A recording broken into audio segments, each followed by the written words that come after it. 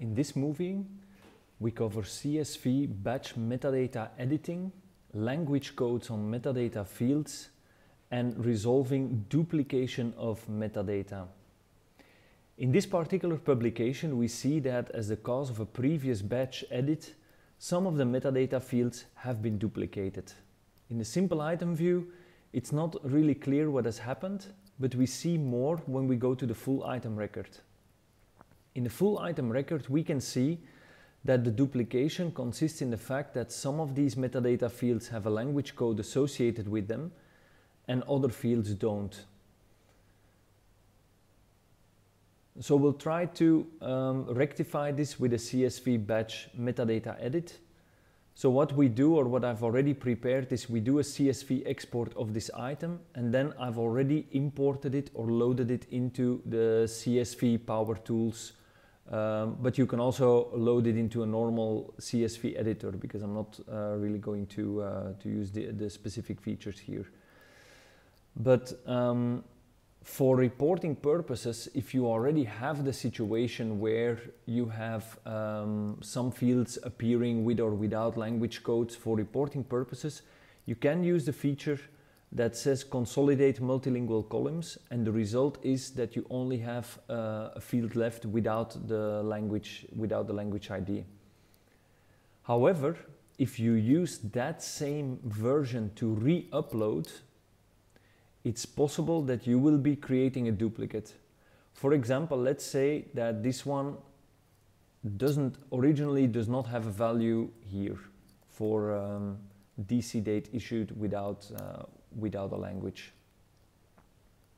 So let's say that the value was not, uh, not there and that we actually only had a value on, of 2018 stored in a field with a language code. If we then execute the consolidate multilingual columns, the result is that we only will have, where we, do we have my date here, DC date issued without the language code.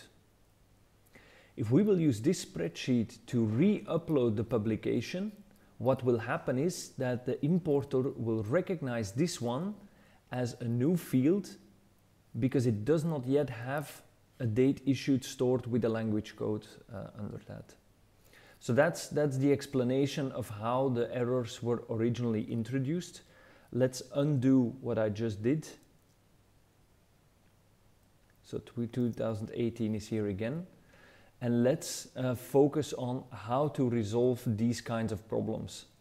So the thing that we have here is we have these duplicated metadata uh, values and we want to get rid of them. So to get rid of a value or to do any CSV edit, it's always recommended to leave only the columns in place that you want to edit. So the author column is fine. I don't want to edit that, so I delete it from my spreadsheet. Then let's say DC date issued. It's a, a, field where a language code doesn't make a lot of sense, so I want to remove it from the one that has the language tag associated with it. I don't delete the column, but what I do delete is the value here. So I do delete the value here. And then I go on. With the, the abstract, maybe for the abstract it does make sense to say that the abstract is indeed in English. So I will delete the version of the abstract without the language code. URI has no problem.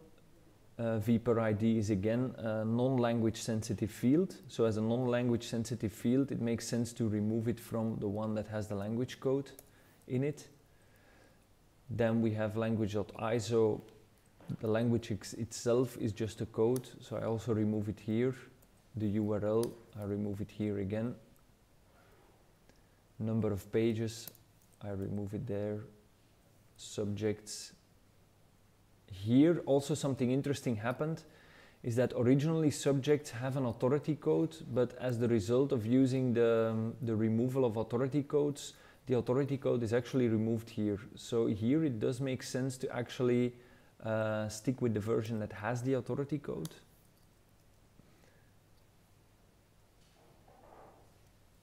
So we remove it there. Uh, let's see, DC title, um, it has the English language code, so here we can remove it in the version that doesn't have it. But overall, you can make the decision for your repository whether you want to deal with language codes at all or not. Um, some repositories decide not to do this at all and just have no values in the, in the metadata fields with language codes and they avoid the problem altogether. Here, I can also remove it here. The knowledge domains, I will remove it, uh, remove it here.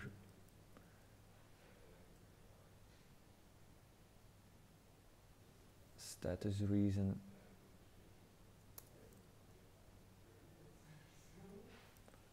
White paper. Here's another duplicate.